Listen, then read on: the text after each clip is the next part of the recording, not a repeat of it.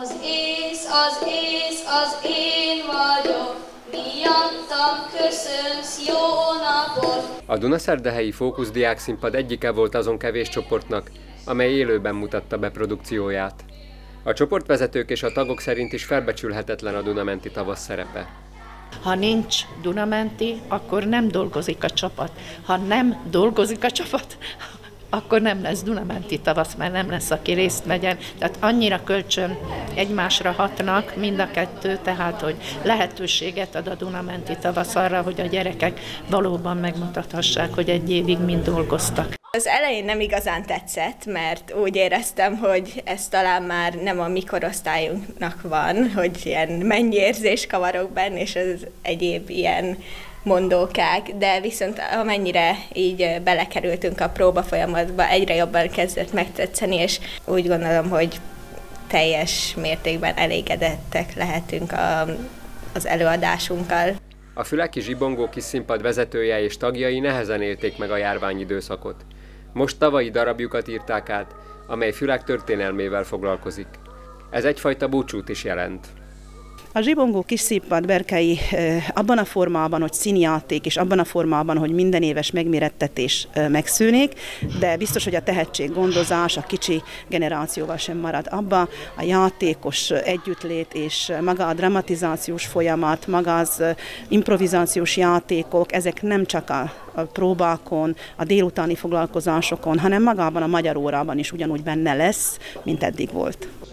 A főszervező Csemadok minden csoportot arra buzdít, hogy a nehézségek ellenére folytassa a munkát, hiszen a mozgalomnak tovább kell élnie.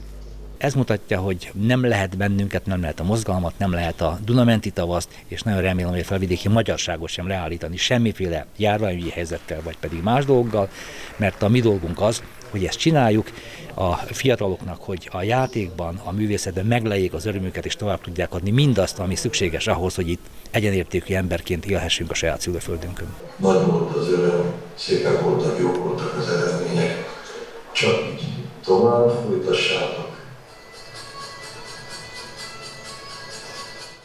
A rendezvényen megemlékeztek az idén télen elhunyt Huszár Lászlóról, aki évtizedekig volt a Dunamenti tavasz főszervezője. A szervezők átgondolták a további lépéseket. Mentori program indult, lesz drámaíró workshop és intézményesítésre is szükség van.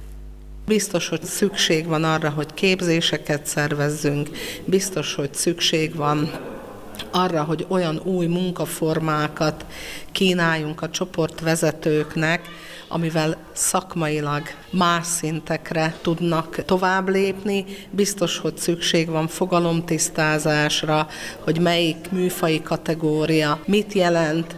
Biztos, hogy szükség van arra, hogy többször mutassuk meg magunkat. A bábosok között élőben láthattuk a Dunaszerdehelyi Gézengúzok bábcsoportot. A csoport egy régi darabot, a Makrancos asszony és az ördög című bábjátékot adta elő. A gyerekek kedvét a járvány szerencsére nem vette el. A tavalyi év az szinte arról szólt, hogy nem igen tudtunk próbálni, majdnem csak az év vége adott lehetőséget. Most az év elejétől azért a próbák zajlottak, és igyekeztem úgy a gyerekeknek átadni ezt a mesét, hogy azért legalább valamilyen szinten színpadképes legyen. Természetesen ilyen nagyon apró részletekben nem tudtunk belemenni, de azt gondolom, hogy nagy élmény volt nekik is, és a közönségnek is.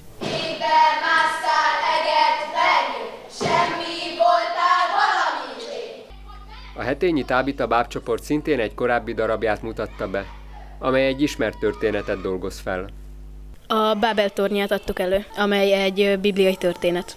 Az emberek ö, nagyra vágyóak voltak, és látni akarták az Istent, de Isten ezt nem vette jó szemmel, ezért ö, ledöntötte a tornyot, és így összekeveredett a nyelvük. A szervezők és a résztvevők egyaránt abban bíznak, hogy a Dunamenti tavaszt jövőre már sokkal több csoporttal és több száz főnyi közönséggel lehet megrendezni, úgy, mint a járvány előtti időkben.